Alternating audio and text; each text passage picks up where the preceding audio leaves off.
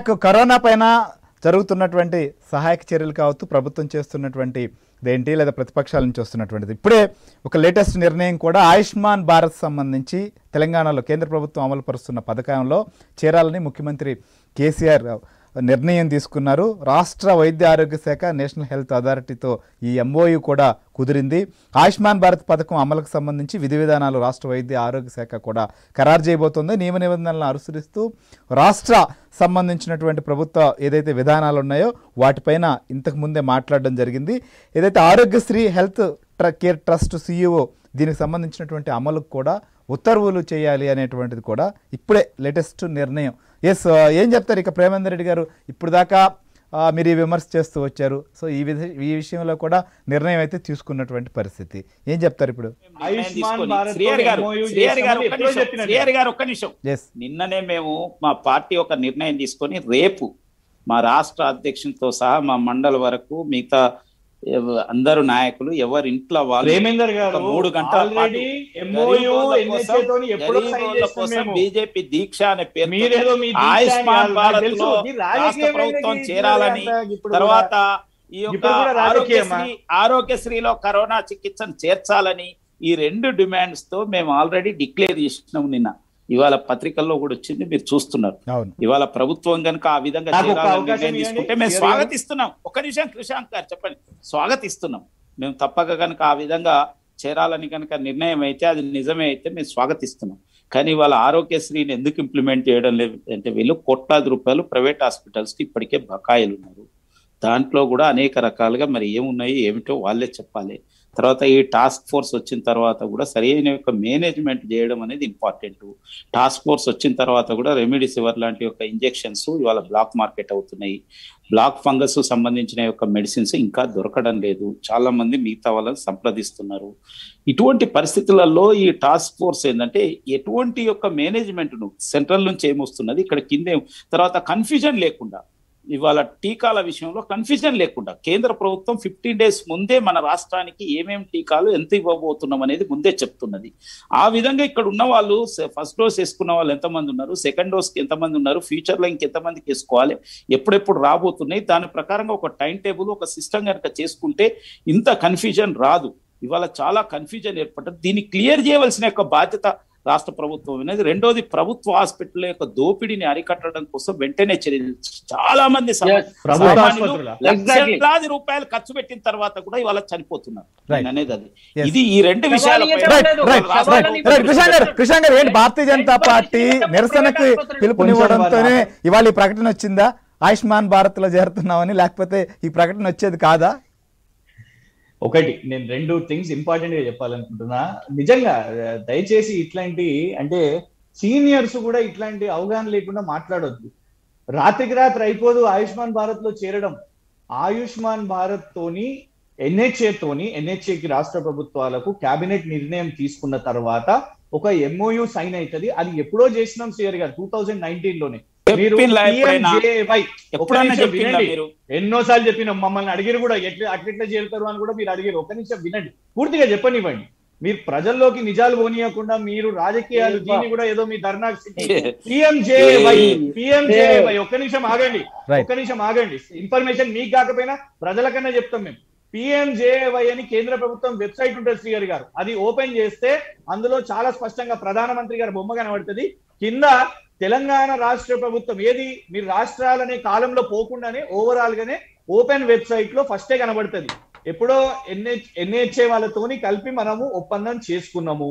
అందులో భాగంగా ఈ రోజు నిజంగా ఆరోగ్యశ్రీలోకి ఆయుష్మాన్ భారత్ ఇవి రెండు కొలాబరేట్ అయ్యి. ఎందుకంటే మేము చాలా క్లియర్గా కూడా అవి కార్డ్స్ కూడా రిజిస్టర్ చేపియడం జరిగింది. అది చాలా క్లియర్గా పని జరిగింది.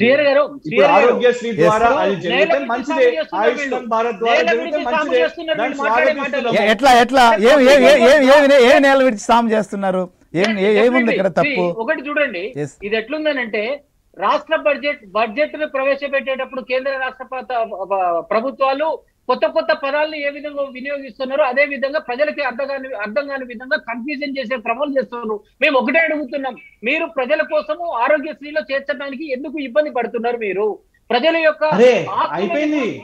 అయిపోయింది. ఏం డిమాండ్ చేస్తున్నారు? చేస్తున్నావు? ఏ- ఏం చేస్తున్నారు? ఆ ఆయుష్మాన్ ఒకటి.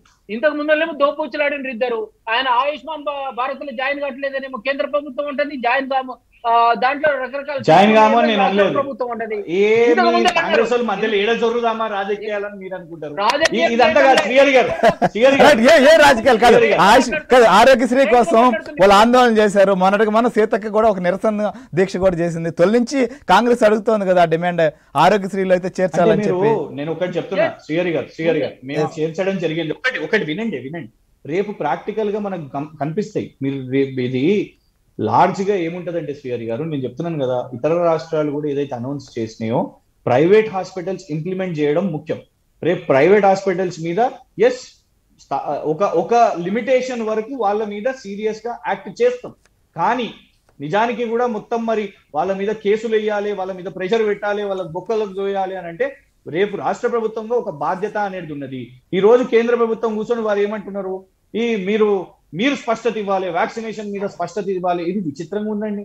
వ్యాక్సిన్ పాలసీ ఇప్పటికీ కూడా వ్యాక్సిన్ పాలసీ మీరు నిర్ణయిస్తున్నారు సార్. మే ఫస్ట్ న ఎయిటీన్ నుంచి ఫార్టీ ఫైవ్ ఇయర్స్ వాళ్ళు వాళ్ళకు వ్యాక్సినేషన్ జరగాలి అని దానికంటే ముందు టీకా మహోత్సవ్ సంబరాలు టీకా సంబరాలు అని ఒకటి పండుగను అనౌన్స్ చేసిర్రు. టీకాలు లేవు. పోనీ May first eighteen to forty five announce చేసిర్రు. కానీ వచ్చినాయా? పద్దెనిమిది నుంచి నలభై ఐదు సంవత్సరాలు. సార్ ఒక కోటి మంది దాకా ఉన్నారు. ఆ. కోటి వ్యాక్సిన్ ఇవ్వడం జరిగిందా రాలేదు నిజాలు మాట్లాడుకుందాం మీరు. బాధ్యతను తీసుకోండి. లేదా సబ్జెక్ట్ Yes. అది తీసి మీరు రాష్ట్ర ప్రభుత్వం మీదకి రుద్ది మేము సమాధానాలు చెప్పాలంటే మేము గమ్మునుంటామా? ఖచ్చితంగా మీ బాధ్యతని మీకు గుర్తు చేయాల్సిన అవసరం. రైట్ మీ మీద వారు వారి మీద మీరు ఆరోపిస్తున్నారు. కాంగ్రెస్ వాళ్ళు అయితే మాత్రం కాంగ్రెస్ వాళ్ళు అయితే. మాత్రం ఇద్దరు చేయట్లేదు.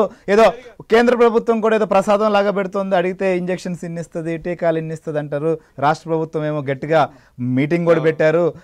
ఎక్కడైతే వ్యాక్సిన్ తయారు చేస్తున్నారో వాళ్ళందరితో కూడా అప్పటి నుంచి అసలు సమస్య మొదలైంది అనేటువంటిది. సో ఒక ప్లాన్ ఆఫ్ యాక్షన్ లేదు. అందుకే ఫస్ట్ డోస్ ఎక్కువ ఇచ్చారు సెకండ్ డోస్ కూడా సమస్య వస్తుంది అనేది వారి విమర్శ కృషాంగ్ గారు.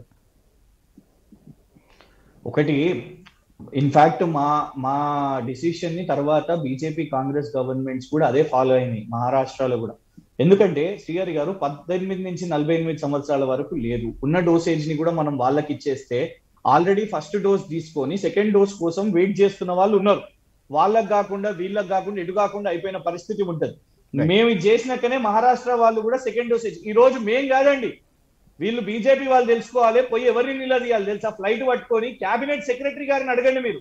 కేంద్ర ప్రభుత్వం హెల్త్ క్యాబినెట్ సెక్రటరీ ఆయన ఏమనన్నాడు second dose is the priority అనే స్టేట్మెంట్ చాలా క్లియర్గా కనబడుతుంది మీకు. Second dose is the priority ICMR guidelines మీరే టెస్టింగ్ మీరే గైడ్ లైన్స్ వ్యాక్సిన్ మీద మీరే గైడ్ లైన్స్ ఆక్సిజన్ అలాట్మెంట్ మీరే. ప్రశ్నలు మాకా? మేం ఏంటి అన్ని మీరు. చెప్తూ మళ్ళీ మీరు చెప్తూ మళ్ళీ రాష్ట్రాల కాడికి వచ్చేసరికి మాత్రం ప్రభుత్వాలు.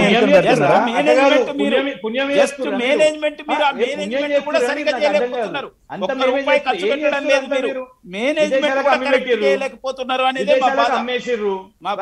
పైసల కోసము పేరు కోసము ప్రఖ్యాత కోసము. విదేశాలకు అమ్మిన వాళ్ళు మీరు. మాట్లాడుతున్నారండి. శ్రీహరి గారు రైట్ రైట్ ప్రేమేంద్ర రెడ్డి గారు ఎస్ ఎస్ అంటే మీరు విదేశాలకు విమర్శిస్తున్నారు మీరు- కాబట్టి వాళ్ళ కేంద్రం తీసుకున్న నిర్ణయాలపై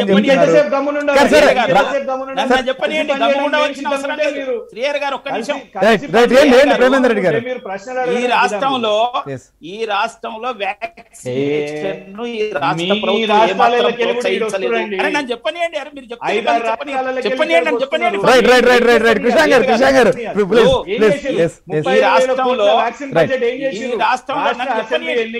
రాష్ట్రంలో ఈ రాష్ట్రంలో.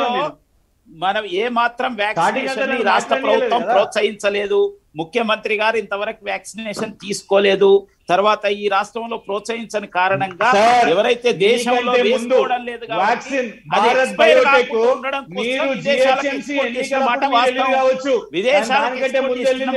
వాస్తవం. ఇప్పటికి కూడా మీ గారు దగ్గర ఒక ప్లాన్ లేదు ఒక పద్ధతి అబద్ధాలు లేదు ఒక? వ్యవహారం. మేనేజ్మెంట్ కరెక్ట్ లేదు మేనేజ్మెంట్? కరెక్ట్ లేదు. సెంట్రల్. గవర్నమెంట్ ఇస్తున్నది మీరు ఏమి. ఖర్చు పెట్టడం లేదు మీరు ఇక్కడ చేస్తున్నది ఏమి లేదు మాటలు మాట్లాడడము కేవలం ఇట్లా ఆరోపణలు చేయడము పబ్బం గడుపుకోవడం తప్పితే ఏమీ లేదు ఇవాళ. రోజుల నుంచి ఆరోగ్యశ్రీ. గొప్పది గొప్పది అని చెప్పిండ్రు. మరి ఆరోగ్యశ్రీలు ఎందుకు చేర్చలేదండి? ట్రీట్మెంట్ కరోనా ట్రీట్మెంట్ ఎందుకు దాన్ని ఇంప్లిమెంట్ చేయలేదు చెప్పండి? ఎందుకు చేయలేదు? ఎందుకు చేయలేదు? ఇప్పుడు కాదు. కరోనా వచ్చి సంవత్సరం అయిపోయింది. సంవత్సరం నుంచి కూడా దీన్ని చేర్చమని చెప్పి అందరు అడుగుతుంటే మీరు చేర్చలేదు. ఇంతవరకు ఇప్పుడు ఇవాళ చేస్తామని అంటున్నారు అందరి యొక్క డిమాండ్ తర్వాత. ఇవాళ మీరు దాన్ని చేర్చి కనుక సరి అయిన విధంగా కనుక ముందుకు పోతే ఇవాళ పేద ప్రజలు ఇంత ఘోరంగా దెబ్బతినే వాళ్ళు కాదు కదా. లక్షల రూపాయలు ఆస్తులు అమ్ముకొని ఇవాళ ఆస్తులు అమ్ముకున్నా కూడా ప్రాణాలు కాపాడబడతలేవు. అది పెద్ద. భారత్లో తెలంగాణ ప్రభుత్వం రెండు వేల ఇరవైలోనే చేరింది. మీకు ఇక అది తెలియకపోతే నన్ను ఏం చేయమంటారు? చేరితే ఇన్ని రోజులు. ఎందుకు? Implement కాలేదని. మమ్మల్ని రాజ్- కేంద్ర Implement ప్రభుత్వం కాలేదు ఇప్పుడు దాకా. ఎప్పుడైనా కేంద్ర ఏం. జరుగుతోంది? రాష్ట్రాల మధ్య. ఉన్నటువంటి ఇన్ని ఇష్యూస్ని మాట్లాడుతున్నారు. రాష్ట్ర ప్రభుత్వం ఏం చేస్తుంది? కేంద్రం ఏం చేస్తుంది? అని చెప్పి. మీరేమో రాష్ట్ర ప్రభుత్వాన్ని టార్గెట్ చేస్తున్నారు. రాష్ట్ర ప్రభుత్వం ఒక్కటి కాదండి. ఇక్కడ ఏంటంటే వాళ్ళు బీజేపీని అన్నారు ఏమన్నారు వాళ్ళు కాంగ్రెస్ బీజేపీని ఏమన్నారు సరే రాహుల్ గాంధీ గారు ఇవాళ కూడా. విమర్శించారులేండి. రాహుల్ గాంధీ గారు వేరే మా రామచంద్రారెడ్డి గారు వేరే. రైట్ ఇమ్మీడియట్గా కూడా నాకు అందుబాటులో ఉన్నటువంటిది ఎవరు అని అంటే నాకు రాష్ట్ర ప్రభుత్వం ఇక్కడ. నాకేమైనా ప్రాబ్లం వచ్చిందని అంటే నాకు ఇమ్మీడియట్గా అందుబాటులో ఉన్నది రాష్ట్ర ప్రభుత్వం. రెండో విషయం ఏంటంటే ఈ రాష్ట్ర సరే మీ మీకు ఎట్లనే ఉంది? రెండోది ఏంటంటే ఈ రాష్ట్ర ప్రభుత్వం ఒక వైపు నుంచి కేంద్రం సహకరించడం లేదంటారు వాళ్ళకి ప్రతి అను సందర్భంలో సపోర్ట్ చేశారు ప్రతి? సందర్భంలో కూడా ప్రతి సందర్భంలో కూడా? ఒక నిమిషం మన్మోహన్ సింగ్ గారు. జిఎస్టీ. సపోర్ట్ చేసినట్ట ఓపిక ఉండాలి వినాలి. రెండో విషయము అరే. రాష్ట్ర ప్రభుత్వం ఇట్లా అడిగిన వెంటనే కేంద్ర ప్రభుత్వం ఏది. Right right yes yes yes one by one sir please ఈ- ఎస్ yes, ఎస్ ఈ రాష్ట్ర ప్రభుత్వం ఈ రాష్ట్ర ప్రభుత్వము కేంద్ర ప్రభుత్వం ఏంటిది ఈ రాష్ట్ర ని తప్ప అప్రిషియేషన్ వస్తే మంచిదే కదా. మంచిదే. కదా. మీ ఇద్దరు మంచిదే కదా, రాష్ట్ర అయితే. అయిపోతున్నారు మీ దోబుచ్చినట్లు రాష్ట్ర ప్రజలు నాశనం మేము ఒకటే అడుగుతున్నాము ఆయుష్మాన్ భారత్ ఎప్పుడో చేద్దామంటే ఇన్నాళ్ళ గురించి ఇన్నాళ్ళ దాకా దాని గురించి డిస్కషన్ ఎందుకు వచ్చింది? ఎన్నో? సందర్భాల్లో ఎన్నో సందర్భాల్లో. ఇంకొకటి మేము అడిగే సూటిగా అడిగినాము సామాన్యుని యొక్క నడ్డి విరగకుండా కంట్రోల్ రైట్ చేయండి. రామచంద్ర గారు టైం కూడా అవుతుంది కాబట్టి మీరు సూటిగా. నేనేమంటానంటే ఇదిగో ఇవి అంశాలు ఇవి చేస్తే ఇంకా బాగుంటుంది. అనే దానికి ఏమన్నా ఉందా? స్పెసిఫిక్గా రాష్ట్ర ప్రభుత్వం పైన విమర్శలు టాస్క్ ఫోర్స్ ఏం చేసింది? ఇంకోటి అనేది కాదు కామన్గా. ప్రభుత్వం రాష్ట్ర ప్రభుత్వం ఏం చేయాలి? ఒకటి నేనేమంటానంటే జ్యుడిషియరీ ఇన్వాల్వ్మెంట్ కూడా ఇందులో ఉండాలి. స్పెషల్ కోర్టులు కాన్స్టిట్యూట్ అయ్యే విధంగా రాష్ట్ర ప్రభుత్వము ఈ కరోనాకు సంబంధించినటువంటి మోసాలకి కాన్స్టిట్యూట్ చేయాలి. రెండవది ప్రభుత్వము రెగ్యులేట్ చేసి ఏది ప్రైవేట్ ఆసుపత్రుల మీద రికవరీకి కూడా రేపు పెడతామన్నట్లు ఒక భయాన్ని క్రియేట్ చేయాలి. మూడవది మౌలిక సదుపాయాలు ఏదైనా రోగిని కనుక ఏదైనా హాస్పిటల్ సరైన రీజన్ లేకుండా రిజెక్ట్ చేస్తే వాళ్ళ మీద క్రిమినల్ యాక్షన్ తీసుకోవాలి. అదే విధంగా అదే మౌలిక సదుపాయాలన్నీ కూడా అందరికీ అందుబాటులో ఉన్నాయా లేవు అన్నటువంటి విషయాన్ని కూడా ఎప్పటికప్పుడు కూడా టాస్క్ ఫోర్స్ ద్వారా తెలుసుకుంటారా ప్రతిపక్షం సూచనలు తీసుకుంటారా చేయాలి. అంతేగాని భోజనం పెట్టుకుంటే రోడ్ల మీద అప్పుడు క్రెడిబిలిటీ పోతుందని ఈ- చిల్లర రాజకీయాలు చేయొద్దని చెప్పేసి మేము కోరుకుంటున్నాం. ఏం మీరు- భోజనాలు పెట్టి రాజకీయం చేయాలనుకుంటున్నారా? వాళ్ళు ఆపారనేది రాజకీయం పెట్టి చేయాలనేది రాజకీయం అమ్మ పెట్టదు అడుకో తెలియదు. నిన్న రేవంత్ రెడ్డి గారు వెయ్యి భోజనాలు పెట్టారు పోతుంటే అడ్డుకుంటే మళ్ళీ ఆ క్రెడిబిలిటీ ఆడబోతుందని చెప్పేసి ఈ రోజు ఫ్రీ చేసిన అన్నపూర్ణ క్యాంటీన్ల ద్వారా ఓకే డెఫినెట్ వీల్ మేము స్వాగతిస్తాం దాన్ని.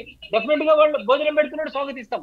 కానీ రాజకీయం అనేది ఒకటి చేస్తున్న ప్రతిపక్షం చేస్తున్నటువంటి పనికి అడ్డం తగిలి క్రెడిబిలిటీ కోసం చేయటం కాదు పరిపాలన అంటే. బాధ్యతగా చేయాలని చెప్పి ఇప్పుడు సూచనలు ఏమైనా ఇచ్చిర్రా రైట్ రైట్ రైట్ ఇన్ని మాట్లాడారు కదా. లీగల్గా.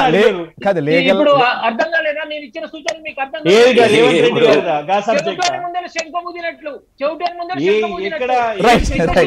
రెడ్డి రైట్ ప్రేమేంద్ర రెడ్డి గారు ప్రేమేంద్ర రెడ్డి గారు దీక్ష కాదు దీక్ష కొనసాగిస్తారా? ప్రేమేంద్ర రెడ్డి గారు దీక్ష కొనసాగిస్తారా? ఆయుష్మాన్లో చేరుతున్నామని ప్రకటన వచ్చాక ఇంకా విరమిస్తారా? ఏంటి? తప్పక దీక్ష రేపు కొనసాగుతుంది. ఇది పేద ప్రజల కోసం మేము చేస్తున్న దీక్ష. వాళ్ళు కనుక ఇది చేస్తే స్వాగతిస్తాం. పూర్తిగా రానియండి. క్లారిటీ రానియండి. వాళ్ళు ఏం మాటలు మాట్లాడుతున్నారు ఏం ప్రకటన చేసిండ్రు ఏమిటి అనేది క్లారిటీ రానియండి. రెండోది ఏంటంటే యుద్ధ ప్రాతిపదికన తీసుకోవాల్సిన చర్యలు రాష్ట్ర ప్రభుత్వం కానీ లేకపోతే వారు అనుకున్న వైద్య మంత్రి లేడు లేదో టాస్క్ టాస్క్ ఫోర్స్ అన్నారు. ఆ టాస్క్ ఫోర్స్ అన్న తీసుకోవాలి. ఇప్పుడు ఎక్కడ కూడా ఎలాంటి ప్రజలకు ఇబ్బంది లేకుండా తీసుకునే అనేక చోట్ల కొత్త కొత్త హాస్పిటల్స్ని ఎస్టాబ్లిష్ చేస్తున్నారు. ఇది అది చేయకపోనియండి. కనీసం కేంద్ర ప్రభుత్వం ఇచ్చిన వెంటిలేటర్ను ఉపయోగించడం కోసం సరైన స్టాఫ్ నియమించండి. తర్వాత తెలుసా? నేను పత్రికల్లో ఇవాళ పెట్టారు వచ్చింది? పత్రికల్లో ఈ రోజు. వచ్చింది నేను చెప్పడం కాదు మద్దతు. మీకు మద్దతు ఇస్తున్న పత్రికల్లో వచ్చిన యొక్క వార్తలే చెప్తున్నా నేను అనేక చోట్ల వాటిని వాడడం స్టాఫ్. లేదు స్టాఫ్ లేదు కనీసం ఇప్పుడు యుద్ధ. అరే మీరు సూచనలు సూచనలు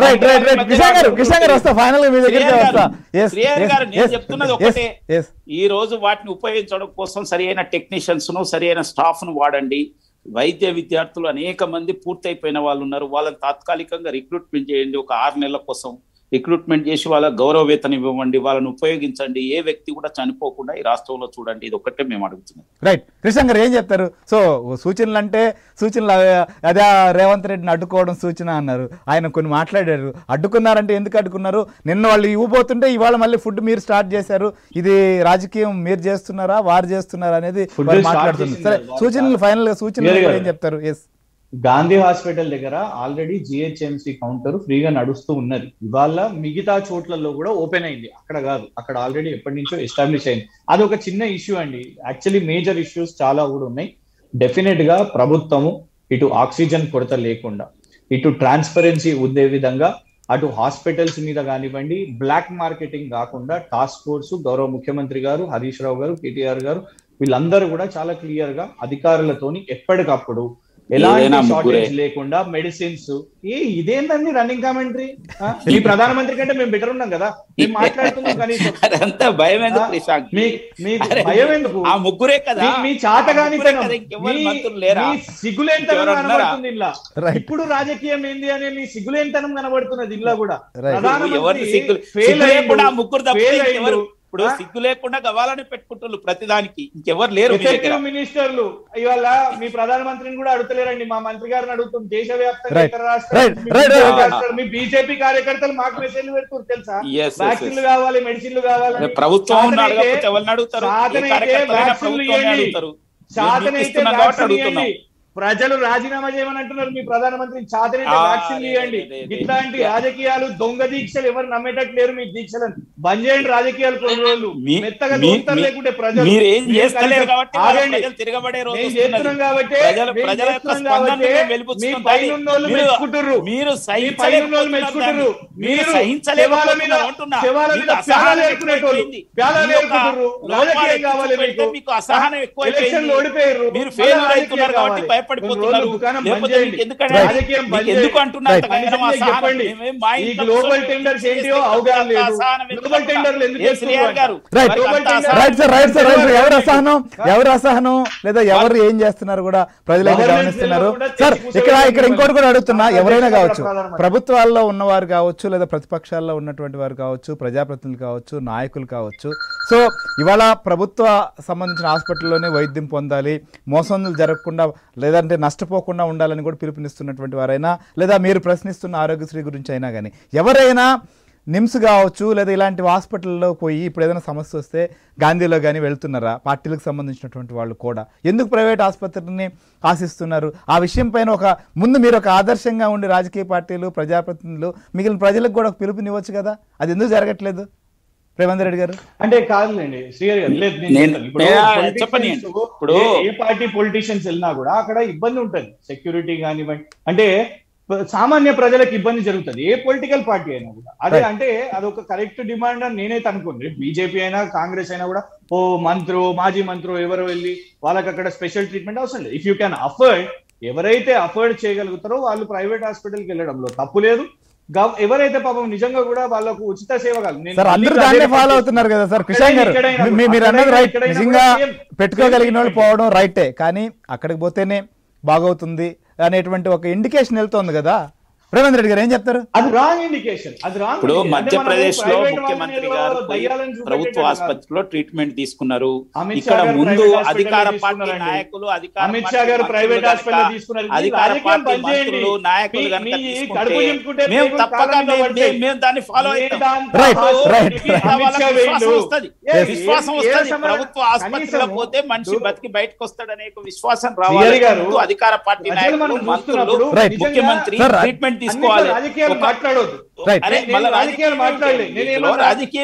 వారు అడిగిన నేను చెప్తున్నా. రైట్ పోలే మీ అమిత్ షా పోలే. మే మేదాంత హాస్పిటల్ కని కురకలే మరి ఆ రోజు ఎందుకు గవర్నమెంట్ హాస్పిటల్ అందరూ All India Institute of Medical Sciences పోతారు. చాలా మంది చాలా అబద్ధాలు సందర్భాల్లో ఫేక్ న్యూస్ ఏదేమైనా మన వ్యవస్థని?